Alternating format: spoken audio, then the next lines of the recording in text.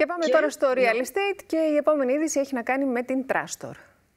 Η Τράστορ έδωσε έναν απολογισμό των, του χαρτοφυλακίου της ε, για το 2000 ακινήτων, το 2023, 468,7 εκατομμύρια ευρώ η αποτίμηση ε, και ε, διαχειρίζεται 55 ακίνητα τα οποία είναι αυξημένα σε σχέση ε, με την ε, προηγούμενη οικονομική χρήση. Το σύνολο, όπως είπαμε, είναι στα 468,7 έναντι 392,3 εκατομμυρίων ευρώ κατά το 2022.